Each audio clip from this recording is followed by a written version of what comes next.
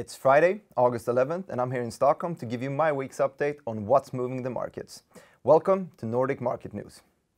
This week has seen downward movements in most of the major Nordic indices and spikes in the volatility indices. And these spikes can be attributed to the geopolitical tensions between Donald Trump and Kim Jong un. Disregarding politics and looking at earnings, uh, this week has been rather calm with only a handful of companies reporting, and therefore it's been somewhat of a transition week before the final rush of the earnings season that will start next week. And we can expect companies reporting such as Carlsberg, the Swedish ICA, and Vestas. So stay tuned for that. As for this week, with index levels taken from around 11 Friday, the Copenhagen C20 leads the Nordic major indices uh, and is down about 0.5%. The Norwegian OBX is down about 1% for the week, while Stockholm and Helsinki are huddled as the bottom pair, down about 2% each. On Monday, Nordea Markets spiced things up by lowering their outlook on the price of salmon.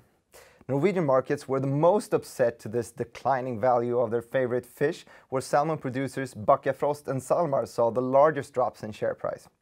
The price of salmon has declined by around 11% during the month of July.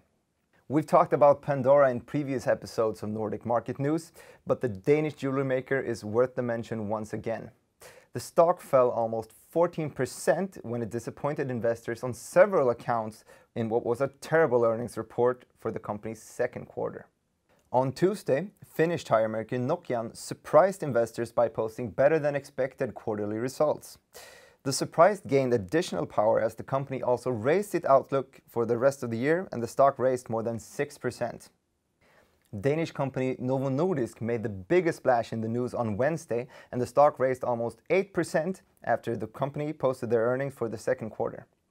After the market had closed on Wednesday, however, another Danish pharmaceutical company, Genmab, posted its quarterly earnings.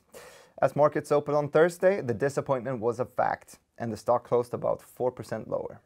Seamless Distributions, a Swedish payment solutions company, sealed a licensing deal with MasterCard on Tuesday, and subsequently they received an order from an Hungarian bank the following day. The company exploded on the markets on the news and gained as much as 60% over the two days.